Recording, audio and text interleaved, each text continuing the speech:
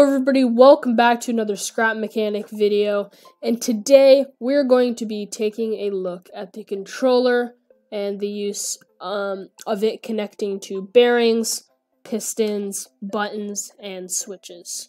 So let's get right into it. Okay, so first off, I'm just going to kind of explain the use of the controller, which we can look at our handy manual. So the controller, it enables the creation of transforming moving vehicles. So you can program your bearings to rotate at set degrees in a set sequence and active by using a trigger, which includes sensors, buttons, and switches. So as you can see in this these images, you can create some type of door mechanism um, by using bearings and a sequence so that the door closes and then the bar comes down as you can see.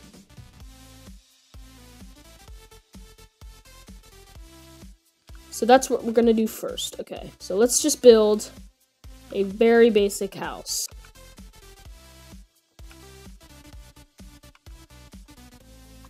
Okay, so now we have our little uh, makeshift house complete. And what we're to be doing is we're going to be building um, two types of doors. First, our front door, which opens and closes using bearings um, and has a locking bar that lowers across it, uh, which can be accessed from one switch on the outside of this wall.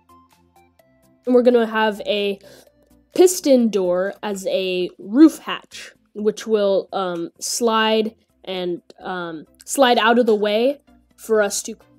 So first, really quick, this little contraption to show you guys um, quickly um, the different uses of the controller with um, all the different triggers and then with bearings over here and pistons over here. So let me just go through um, each of these so you have a little better understanding. So right here we got our bearings.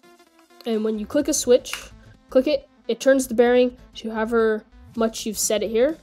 Here I have 90 degrees and it will stay there until you turn it off. It will go back. Button um, is, so you can see both of these I've set to go to 45. So when I tap the button, doesn't really do anything, but when I hold it, I can hold and let go and wave these little arms.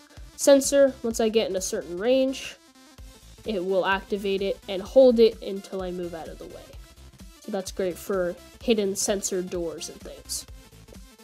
And over here, similar thing with the piston, um, but they're pistons. So click it once, pushes the piston to the length that I've set it to, which is 15. And I can always change that somewhere in here. You can see I have it set, set as 15. I can set it to 5 if I want. So now the length it's at is 5, and that's a just a toggle. The button, once again, doesn't do much like this, but if I hold it, I can bring it up, let go, bring it back down, as you can see. And then the sensor, um, these pistons, as you can see, they start extended. And basically, I have them over here on this first section. They are started, and let me set those all to the same, set to 5. And they're there by default. And then once I go over this, they shrink back down to 0. See that? And there you go. So that's just a little basic understanding. Um, and now we're going to go get to building our door. Okay, so let's get into this first door. First thing you're going to want to put, your controller. Here, let's see. Boom, your controller. Um, we're going to just have a switch here. And then what you're going to want to do is have your two bearings, both on the same side. And then you're just going to build your wall. So let's do that.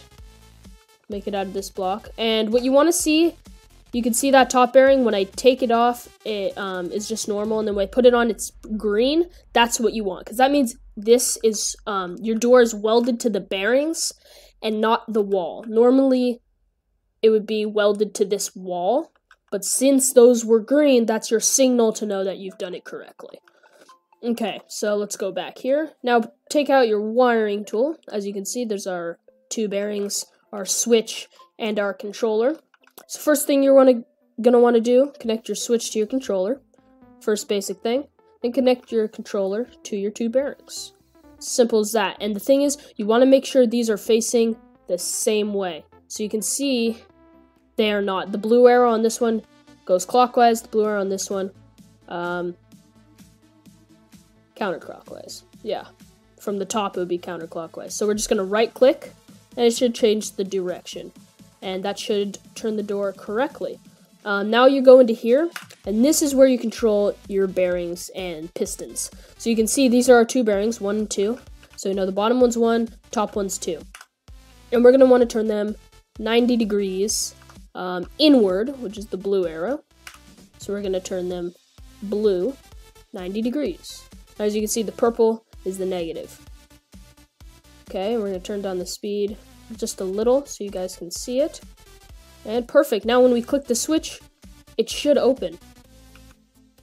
Beautiful. There it is. We got a working door. But we want to make this a little more secure. So we're going to add a bearing here.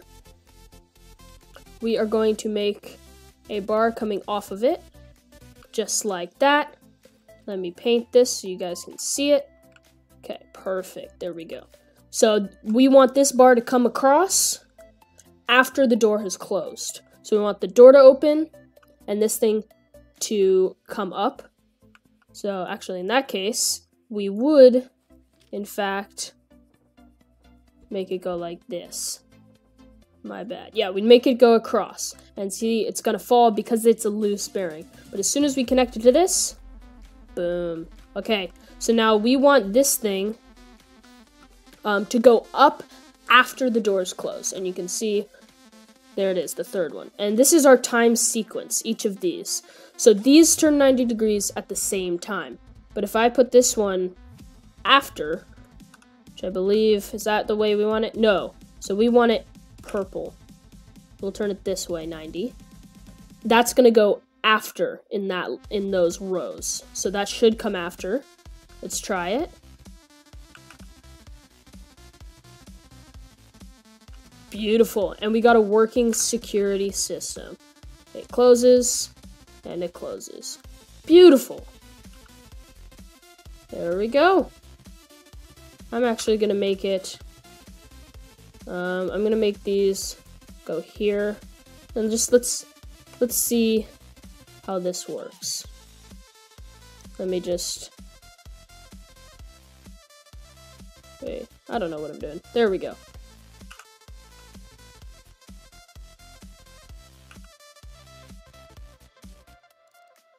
There we go. Now let's try it. My bad, guys. Yeah, there it is. So it locks it in, then it goes up, and the door swings out. Beautiful. Now we're in here. Perfect. So now, that's pretty much it. Um, I was going to explain how you can access this from two buttons, um, but for now we're just going to do one, because that um, involves a logic gate, and that's what we're going to be getting into in our next video of the series. So now what we want to do is make a piston hatch. Actually, I don't know what I'm doing. I can just go like this. Okay, perfect. So we're going to want a hatch here that will slide with pistons. Okay, so let's build a opening. Perfect. Okay, so now we're to want, hmm, let's see. So we'll have a piston wall back here with our pistons. So we're gonna have one piston and two piston. That should be good. And then we'll have our, actually, let's see. Is that, is that what we want? Hmm. I think so. Yeah, I think so. So I'm just gonna delete this. Okay, now I'm gonna make a hatch. There we go. So now we got our little hatch here. And we want this to slide over. So we're going to have a controller. Let's connect it up just like that. As you can see, they're numbered 1 and 2. We'll add a switch on the actual thing. I'm thinking, yeah, right there. So you can access it. Okay, and connect that there. So now, hmm, Let's see. So we want these to start is 15 what we want? Okay, we definitely don't want 15. Let's try 5. No! Work with me here. Okay, this is making me angry.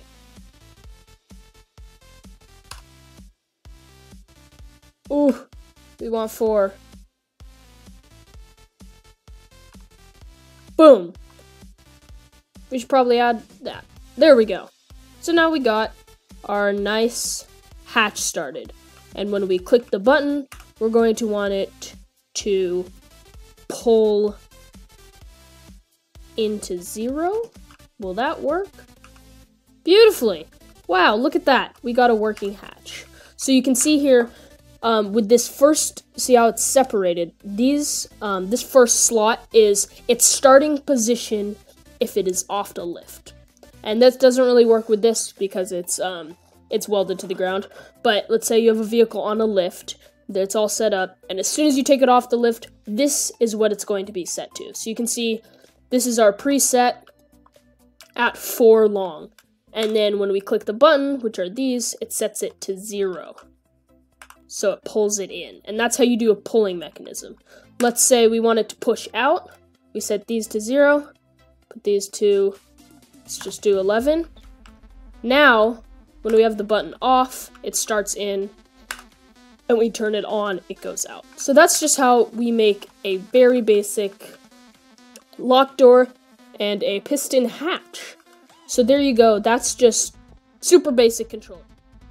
I think that's pretty much it for our basic controller video.